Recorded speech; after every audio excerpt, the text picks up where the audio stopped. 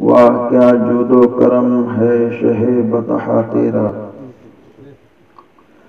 نہیں سنتا ہی نہیں مانگنے والا تیرا۔ میں تو مالک ہی کہوں گا کہ ہو مالک کے حبیب یعنی محبوب و محب میں نہیں میرا تیرا۔ حضرات، یہ بڑی ہی بہتر اور افضل و اکمل بات ہے۔ کہ آج ہم اور آپ اپنی اور ساری کائنات کے آقا و مولا صلی اللہ علیہ وآلہ وسلم کے ذکر سننے کے لیے ایک مرغومہ کے اصل ثواب کی تقریب میں بیٹھے ہیں۔ دعا ہے اللہ تعالی اس محفل نور کے ذکر و اذکار، تلاوت درد پاک کی فیض و برکات سے مرحومہ کو ہر ہر کروٹ چین و سکون، راحت و اطمینان نصیب فرمائے۔ اور ہم سب کی عمر میں بے پناہ برکت عطا فرمائے۔ فاتحہ کے موقع پر بڑا اچھا مجمع تھا۔ اور ماشاءاللہ ابھی بھی ہے۔ اب جن کو آرام کی ضرورت تھی وہ آرام کے لیے گئے۔ اور جن کو کام کی ضرورت تھی وہ کام کے لیے بیٹھے ہیں۔ جو کام کے لوگ ہوتے ہیں وہی کام کی چیز میں بیٹھتے ہیں۔ ہم سب کے لیے یہاں آرام نہیں ہے، ہم سب کے لیے وہاں آرام ہے۔ ہم سب کے لیے یہاں کام ہی کام ہے۔ فجر میں اٹھیں تو کام، ظہر کے لیے جائیں تو ایک کام، عصر کی نماز کے لیے جائیں تو کام، کاروبار کے لیے کوشش کریں تو کام، چہلم دسواں، بیسواں، فاتحہ ہو تو کام، غریب نماز کے عرص میں شرکت ہو تو کام۔ امام احمد رضا فاضل بریلوی کے عرص میں جانا ہو تو کام۔ ایک بیمار انسان کی حالت کو پوچھنا ہو تو بھی کام۔ گویا پوری زندگی ہم سب کا کام میں ہی گزر رہا ہے۔ زندگی کا ایک ایک لمحہ مومن کا کام ہی میں گزرتا ہے کیونکہ مومن زمین پر کام کے لیے آیا ہے اور زمین میں آرام کے لیے آیا ہے۔ تو جو یہاں کام کرے گا، وہ وہاں آرام کرے گا۔ اور جو یہاں آرام کر رہا ہے اللہ ان کے لیے، وہاں بھی آرام لکھ دے، میں ان کے لیے کچھ ایسا جملہ نہ کہوں گا۔ کیونکہ اللہ جس کو چاہتا ہے نوازتا ہے اور جس کو چاہتا ہے مالا مال کرتا ہے۔ ابھی ہم نے آپ کے سامنے قرآن مقدس کی ایک آیت پاک کی تلاوت کی ہے، کلو من علیہ فان۔ ہر چیز کے لیے فنا ہے۔ بقا کس کے لیے ہے؟ قرآن میں اس کا جواب موجود ہے۔ لیکن یہ جواب کب ہم سب کو ملے گا؟ جب ہم قرآن مقدس کی تلاوت کریں گے تبھی مل پائے گا۔ آج تو ہمارے پاس وقت ہے تو اس کام کے لیے وقت نہیں ہے، باقی سب کام کے لیے ٹائم ہے۔ اور کچھ ایسے اللہ کے بندے ہیں جو صبح فجر کی نماز پڑھنے کے بعد میں تلاوت بھی کرتے ہیں، درود پاک بھی پڑھتے ہیں اور ذکر و اذکار کر کے سارے حالات کو بہتر بناتے ہیں۔ تو وہ انسان یہاں بھی کامیاب رہتے ہیں، وہاں بھی کامیاب رہتے ہیں۔ ابھی حضرت علامہ نظام الدین صاحب قبلہ کا بہترین خطاب آپ نے سماعت کیا۔ گفتگو حضرت کی بڑی بہتر ہو رہی تھی اور لگتا ایسا تھا کہ شاید آج ان کی تقریر آخری حد تک گزر جائے گی۔ بڑی بہتر اور بڑی جامع، بڑی انوکھی باتیں آپ نے پیش فرمائی۔ بیٹھے بیٹھے سن رہا تھا۔ اور آپ نے اپنے فاضل حضرت علامہ غلام نبی صاحب نوری سے بھی نعت اور منقبت کو سماعت کیا۔ یہ بھی اچھے خطیب ہیں۔ مگر آج ان کا خطاب آپ سن نہ سکے۔ اور بھی آپ کے محبوب علماء نے خطاب کیا، بیان کیا، اپنے اشعار پیش کیے۔ سب کچھ آپ نے سماعت کیا۔ ان سب کو بھی صاحب خانہ نے دعوت دی ہے۔ اور آپ سب کو بھی صاحب خانہ نے دعوت دی ہے اور اس ناچیز کو بھی صاحب خانہ نے دعوت دی ہے۔ آپ کو سننے کے لیے دعوت دی ہے اور ہم کو سنانے کے لیے دعوت دی ہے۔ تو ایسا نہیں ہے کہ ہم بغیر سنائے یہاں سے چلے جائیں گے۔ آپ سنیں گے تب بھی ہم سنائیں گے اور نہیں سنیں گے تب بھی ہم سنائیں گے۔ اب آپ کہیں گے یہ جبر ہے۔ یہ جبر نہیں، یہ ہمارا کام ہے۔ جس کا جو کام ہے، وہ کام کرے۔ آپ کا کام سننا ہے۔ ہمارا کام سنانا ہے۔ جن کو سننا نہیں تھا، وہ سونے کے لیے چلے گئے۔ اب آپ یہاں بیٹھے ہیں تو آپ کو سننا ہے، ہم کو سنانا ہے۔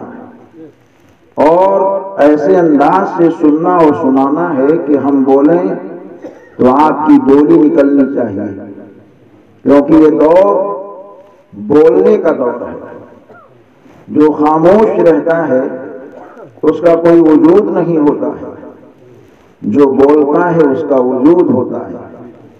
ایک بولنے والوں کو چھ سال سے زمانہ جھیل رہا ہے؟ کیسے انداز سے بولا؟ کیسے انداز سے آگے بڑھا؟ یہ کسی سے پوشیدہ نہیں ہے۔ جب پھینکنے والا انسان بول کر کے راج کر سکتا ہے تو کیا نبی کی محبت میں بولنے والا کیا اپنی بات کو خدا سے منوا نہیں سکتا؟ آپ بولو تو صحیح۔ اور یہ بولنے کا مزاج کسی اور کے در سے نہیں، مصطفیٰ کے گھر سے ملتا ہے۔ ہمارے اور آپ کے آقا کائنات کے والی آئے دنیا میں، زمین پہ تشریف لائے مصطفیٰ۔ بولی مصطفیٰ کی کیا ہے؟ رب حبلی امتی، رب حبلی امتی۔ مصطفیٰ بول رہے ہیں۔ پیاری آمنا یہ کہتی ہے، میرے لال نے بولا، اپنے لب کو کھولا، کان کو میں نے کی۔ دھیمی دھیمی آواز آ رہی ہے، بولتے جا رہے رب حبلی امتی، رب حبلی امتی۔ وہ مصطفیٰ آئے ہیں تو آپ کی یاد میں بولے ہیں۔ اگر آپ ان کی یاد میں بولے تو یہ کوئی ایسی ویسی بات نہ ہوگی، بلکہ محبت کی بات ہوگی۔ کیونکہ نبی دو جہاں بولے ہیں اور سرکار کہاں کہاں نہیں بولے ہیں۔ ہمارے اور آپ کے آقا دونوں عالم کے سرکار صلی اللہ علیہ وآلہ وسلم، آپ تشریف لائے تو رب حبلی امتی کا ترانہ گنگنا کر کے اپنی لب کو کھولا۔ میراج میں گئے تو وہاں امت کو یاد کر کے مصطفیٰ بولے، میراج سے زمین پہ تشریف لائے تو امت کو یاد کیا مصطفیٰ نے۔ غار کے اندر ہیں تو مصطفیٰ جان رحمت سجدے کی حالت میں ہے۔ پیاری سیدہ فاطمہ زہرا رضی اللہ تعالیٰ عنہ کہتی ہیں سب صحابہ پہنچ گئے مصطفیٰ، اپنی پیشانی کو جھکا کر اپنی پیشانی کو اللہ کی بارگاہ میں زمین پر رکھ کر بولتے ہوئے جا رہے ہیں۔ پیاری فاطمہ زہرا یہ کہہ رہی ہیں، نبی یہ دو جہاں پیشانی کو نہیں اٹھاتے، میں پہنچی تو ایک ہی آواز آ رہی ہے، رب حبلی امتی، رب حبلی امتی۔ سرکار زمین سے زمین میں تشریف لے گئے۔ تو حضرت فضل بن عباس ایک روایت کے مطابق ایک روایت کے مطابق حضرت قسم بن عباس رضی اللہ تعالیٰ عنہ، یہ سرکار کے ایسے صحابی ہیں جو سب سے آخر میں حضور کے قبر انور سے باہر نکلے۔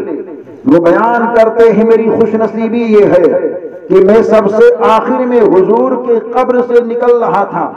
اچانک میرے دل نے کہا لاؤ چاند جیسے چمکتے چہرے کا دیدار کر لو لاؤ شمش دوہا کے چہرے کا دیدار کر لو لاؤ کعبہ کے والی کے چہرے کا دیدار کر لو لاؤ شہر یارہ کرم کے چہرے کا دیدار کر لو لاؤ مصطفیٰ جان رحمت کے چہرے کا دیدار کر لو لاؤ چاند کو چاندنی دینے والے آقا کے چہرے کا دیدار کر لو جن کے صدقے میں نبیوں کو نبوت ملی، اس نبی کے چہرے کا دیدار کر لو جن کے صدقے میں رسولوں کو رسالت ملی، اس نبی کے چہرے کا دیدار کر لو جن کے صدقے میں ہم کو اسلام ملا، اس مصطفیٰ کے چہرے کا دیدار کر لو جن کے صدقے میں ہمیں قرآن ملا، اس مصطفیٰ کے چہرے کا دیدار کر لو جن کے صدقے میں ہمیں ایمان ملا، اس مصطفیٰ کے چہرے کا دیدار کر لو وہ نبی کے صحابی یہ کہتے ہیں، میں نے مصطفیٰ کے چہرے اطہر سے کفن کے کپڑے کو ہٹایا اور نبی پاک کے نورانی چہرے کو دیکھنا شروع کر دیا۔ تو مصطفیٰ کے دونوں ہوٹ ہل رہے ہیں۔ وہ کہتے ہیں، میرے دل نے کہا، شاید مصطفیٰ آخری کوئی پیغام دینا چاہتے ہوں گے۔ اس وجہ سے میں نے اپنے کان کو نبی دو جہاں کے ہوٹ کے قریب کی ہے۔ تو وہاں سے دھیمی دھیمی آواز آ رہی ہے۔ کائنات کے والی رحمت تمام بولتے ہوئے جا رہے ہیں۔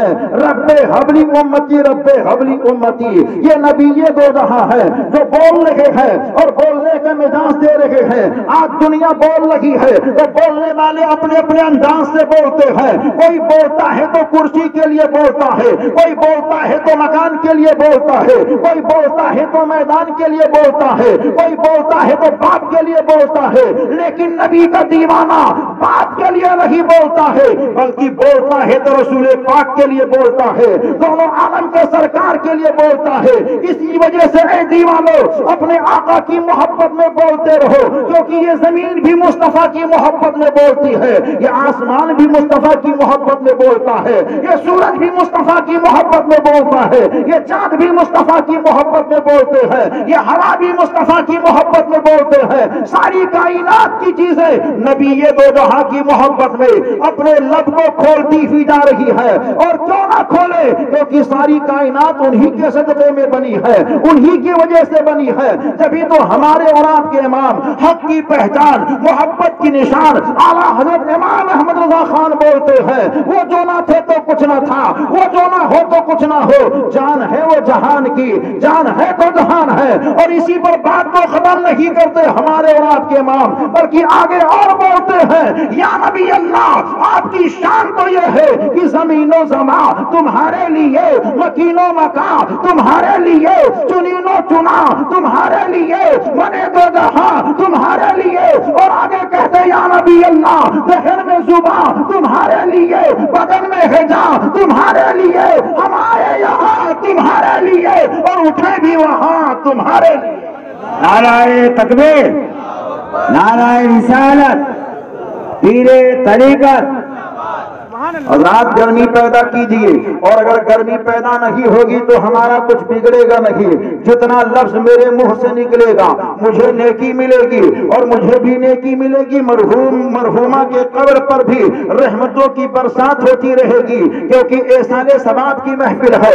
احسان ثواب کی غرض سے آپ بھی جمع ہے نبی یہ دو جہاں کے لیے سب کچھ بنا ہے۔ میرے امام نے ان کی عظمت کو بتا دیا ہے، جن کی شان میں بولنے کے لیے کہا گیا ہے۔ وہ نبی یہ بتا کل میدان محشر سے چل کر کے جب سرکار کو جنت کے باغ میں بھیج دیا جائے گا تو اس باغ کے اندر نبی یہ دو جہاں پہنچیں گے تو وہاں جتنے بھی نبی ہے جتنے بھی رسول ہے ہر نبی و رسول کے تعداد کے مطابق اللہ تعالیٰ کرسیوں کو لگوا دے گا۔ آج جب میں یہاں پہنچا تو مجھ کو ایک کرسی پیش کر دی گئی اور کہا، آرام سے بیٹھو۔ مگر اس کرسی پر انسان کیسے بیٹھ سکتا ہے؟ جس کرسی کے ارد گرد بیٹھنے والے بیڑیوں سے اپنے منہ کو زینت دے رہے ہو۔ اے نبی کے دیوانوں، یہ بیڑیاں جو آپ پی رہے ہو، مباح تو ہے، مگر ورما بیان فرماتے ہیں، اگر کوئی اللہ کا بندہ بیڑی پیتا ہے، یا سگریٹ نوشی کیا کرتا ہے، یا تمباکو کھاتا ہے، تو اللہ کے رحمت کے فرشتے اس سے دور ہو جایا کرتے ہیں۔ اور اللہ کے فرشتوں کو تکلیف ہوا کرتی ہے۔ اپنے آپ کو، اپنے آپ کو محفوظ کیجیے، اور ایسی بو والی چیزوں کے استعمال کرنے سے بچائیے، جس کے اللہ کے فرشتوں کو تکلیف ہو رہی ہو۔ اور میں آپ کے سامنے عرض یہ کر رہا تھا، کرسی دی گئی ہے تو کرسی کے تعلق سے بات میرے نظر کے سامنے آ گئی ہے۔ وہ کون سی بات ہے؟ جنت کے باغ کے اندر ایک لاکھ چوبیس ہزار یا کم و بیش دو لاکھ چوبیس ہزار کرسیوں کو سجا دی جائے گی۔ اور یہ کہا جائے گا، ہر ہر کرسی پر ہر نبی بیٹھ جائے، آواز آئے گی، آدم اپنی کرسی پر بیٹھ جاؤ، نوح اپنی کرسی پر بیٹھ جاؤ، دانیال اپنی کرسی پر بیٹھ جاؤ۔ ذوالکفل اپنی کرسی پر بیٹھ جاؤ۔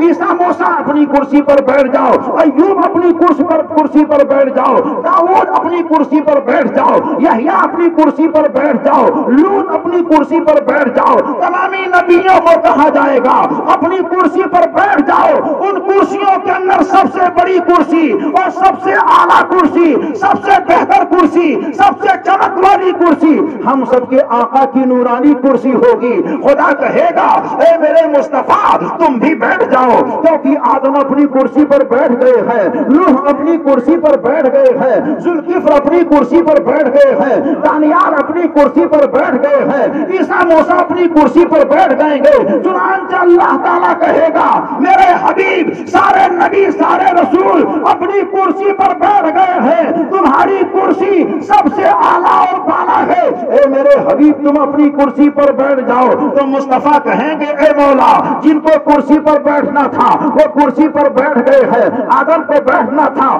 آدم بیٹھ گئے ہیں۔ نوح کو بیٹھنا تھا، نوح بیٹھ گئے ہیں۔ ذوالکفل کو بیٹھنا تھا، ذوالکفل بیٹھ گئے ہیں۔ اے مولا، مجھ کو کرسی ہی پر نہیں بیٹھنا ہے، بلکہ مجھ کو اپنی گھر امت کو جنت کے اندر لے کر کے جانا ہے۔ ان کو جنت میں داخلہ کرانا ہے۔ ان کو جنت کے در تک پہنچانا ہے۔ خدا کہے گا، حبیب، چاہتے کیا ہو؟ چنانچہ مصطفیٰ جان رحمت کہیں گے۔ اے مولا، میرے گنہگار امتی جو دنیا میں رہ کر کے مجھ کو یاد کیا کرتے تھے، نبی نبی کہتے تھے، رسول رسول کہتے تھے، مصطفیٰ مصطفیٰ کہتے تھے مصطفیٰ مصطفیٰ کہتے تھے، شہر یار ارم کہتے تھے، کعبے کے بدود خدا کہتے تھے، بے سہاروں کا سہارا کہتے تھے، گردوں کو اٹھانے والا کہتے تھے، بھوکوں کو سہارا والا کہتے تھے، پیاسوں کو پانی پلانے والا کہتے تھے، اے مولا، میری یہ گنہگار امت رات جب ہوتی تھی، دنیا سوتی تھی، تو یا رسول اللہ کا نعرہ لگاتے تھے اور دنیا کے لوگوں کو کہتے تھے کسی کی جے بھی جے ہم کو پکارے، کیا غرض ہم کو؟ ہمیں کافی ہے سید اپنا نعرہ۔ یا رسول اللہ نبی یہ تو جہاں کہیں گے، مولا یہ میری امت مجھے یاد کرتی تھی، لوگوں کو کرسیوں پر بیٹھنا تھا، وہ کرسی پر بیٹھ گئے ہیں۔ اے مولا مجھ کو کرسی پر نہیں بیٹھنا ہے، بلکہ یا رسول اللہ کہنے والی امت کو جنت تک پہنچانا ہے۔ اللہ تعالیٰ جب کہے گا، حبیب چاہتے کیا ہو؟ تو دونوں عالم کے سرکار پیشانی کو زمین پر رکھیں گے۔ اور کہیں گے، سبحان ربی العالی۔ مولا تو آلہ ہے۔ مولا تو بالا ہے۔ مولا تیری عظمت آلہ مولا تیری رفعت آلہ، مولا تیری شان آلہ، مولا تو رحیم ہے، مولا تو کریم ہے۔ اللہ کہے گا، حبیب بولو تو۔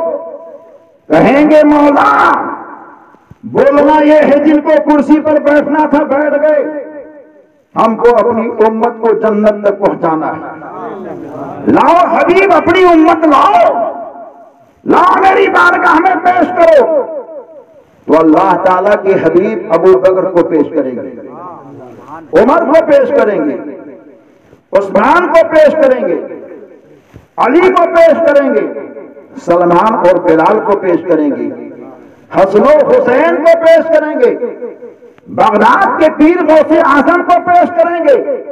ہند کے راجا ہم سب کے خواجہ کو پیش کریں گے۔ اور سید سالار مسعود غازی کو پیش کریں گے۔ بریلی کے احمد رضا نیتو کار جتنے ہیں سب کو پیش کریں گے۔ خدا کہے گا، اے حبیب، یہ تو نیکو کار ہیں، گنہگار کہاں ہے تو اللہ تعالیٰ جب کہے گا، حبیب نیکو کار یہ ہیں، گنہگار کہاں؟ تو نبی دو جہاں کہیں گے، مولا، یہ نیکو کار تیرے ہیں، گنہگار میرے ہیں۔ اے مولا نیکو کار کو اپنے عطا اور فضل سے جنت دے دے اور گنہگار کو ہمارے کرم سے تو جنت دے دے۔ یہ بات جب ہوگی تو خدا کہے گا، حبیب لاؤ، کہاں ہے گنہگار؟ حبیب لاؤ، کہاں ہے گنہگار؟ حبیب لاؤ، کہاں ہے گنہگار؟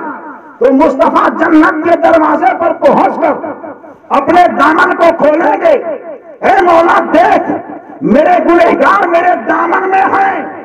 تو آواز آئے گی، حبیب، میں تیرے گنہگار کو نہیں دیکھتا، بلکہ میں تیرے دامن کو دیکھتا ہوں۔ تو بھی جا اور اپنی گنہگار امت کو بھی لے کر کے جا۔ میرے آقا چلیں گے۔ دولہا بن کر کے چلیں گے، آلہ بن کر کے چلیں گے، افسر بن کر کے چلیں گے، اور ہر چہار جانب سے آواز آئے گی، یہ کون جا رہا ہے؟